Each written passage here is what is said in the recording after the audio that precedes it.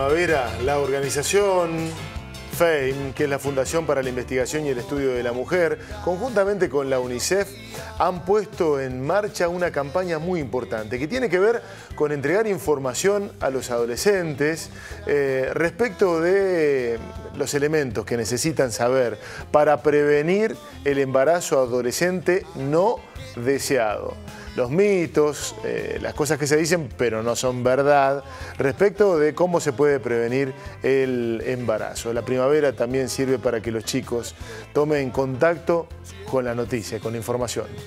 Y este es uno de los spots que la UNICEF está dando a conocer en nuestro país.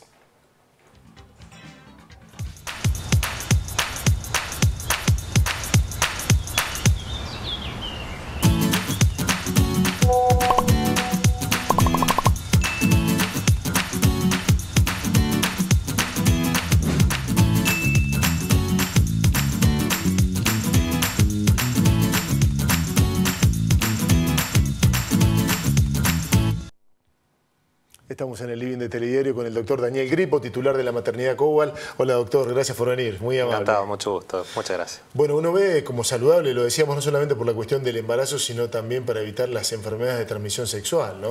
Sí, convengamos que uno de los parámetros que uno puede tomar en la adolescencia es la información, como primero y base, llegado el momento, la educación en los colegios o en la misma casa y eso por ahí hay un déficit importante que lleva después a, conseguir embarazos no deseados. Claro. Eh, habla esta organización de que en Argentina el 16% de los nacidos son de madres adolescentes. ¿Cómo estamos en Río Cuarto? Sí, estadísticamente a nivel Latinoamérica los números son eso, entre el 15 y el 25 y va variando según la población que se esté estudiando. Nosotros la información que tenemos en cuanto a la estadística de maternidad específicamente, que es una población eh, restricta al lugar donde lo atendemos de parte de Río Cuarto, y los pueblos, estamos alrededor del 22%. El 22%. En Río Cuarto hubo un estudio entre los años 80 y 90 que abarcaron 10 años en todos los embarazos que se realizaban tanto en privado como público en donde teníamos un 13,5%.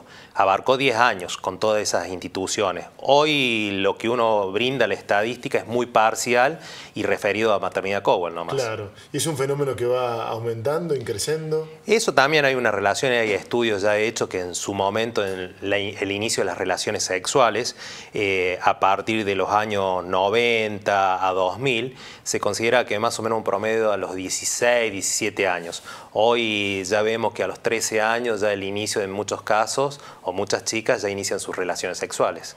¿Y podemos segmentar este, esta cantidad de personas, esas chicas, niñas en muchos casos que quedan embarazadas, entre las que son no deseados y aquellas que son deseados? Porque hablábamos con docentes de colegios secundarios que nos dicen que hay chicas que tienen pocos horizontes y bueno, el anhelo es quedar embarazada y tener un niño aún siendo jovencitas. Y sí, ese es un parámetro que toma en cuenta determinada población en la cual eh, el hecho de, buscar un embarazo eh, no significa que no sea no deseado.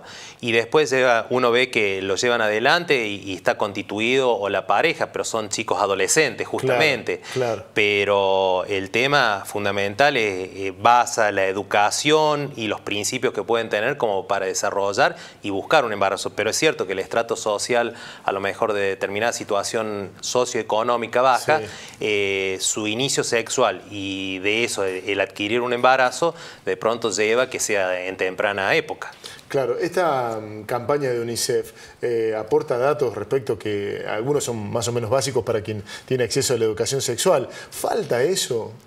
Nosotros a nivel de municipalidad de Río Cuarto ya de años se viene trabajando en donde se dan charlas comunitarias en los colegios y fundamentalmente la, la entrega y explicación del método anticonceptivo. O sea, los medios o las herramientas las llegan a tener. Es lo que pasa que por ahí, por falta de información directa, no lo llegan a adquirir esos métodos. Bueno, le contamos a la gente que aquí en Recuerdo también a esta hora eh, se están entregando folletos eh, con información para los chicos y los adolescentes. Pero todavía parece increíble que perduren aquellos viejos mitos respecto de cómo evitar un embarazo, ¿no? Sí, uno lo ve. La familia a veces me parece que falla un poquito también y por ahí. Y lo que pasa es que la, la educación yo creo que con los años se va progresando y hoy el contacto de, los chicos adolescentes con los padres eh, va siendo cada vez más fluido y entonces eso puede ir abriendo puertas o canales como para que se desarrolle la información pero fuera de eso el aporte de las instituciones escolares lleva a que eventualmente puedan conseguir una información estos chicos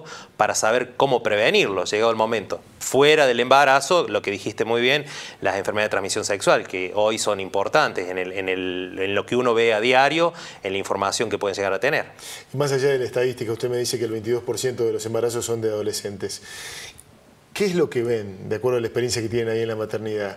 ¿Es una joven que está apoyada por su familia, que está enojada con la joven? No, hay, hay, de todo. Básicamente, eh, por ahí uno indagando un poco más fino, se dan cuenta que no, no tuvieron la oportunidad o, no adquirieron el método anticonceptivo.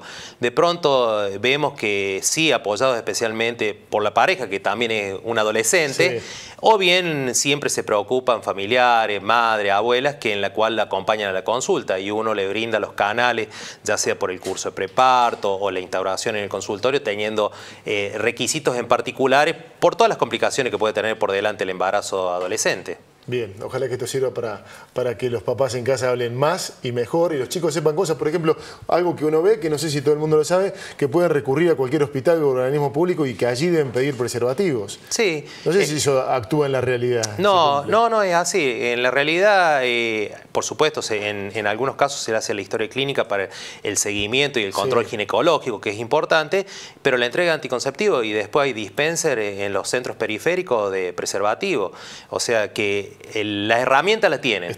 Falta un poco a lo mejor instaurar la educación básicamente eh, tanto en los colegios como en la propia casa. Doctor, gracias por venir. bueno, desde ya muy agradecido y solamente déjame darle un saludo en el Día de la Sanidad a los empleados de Maternidad Cowal y del Instituto Médico donde trabajo. Lo para todos. Cómo no, desde ya muchas gracias. Muchas gracias, ¿eh? por favor.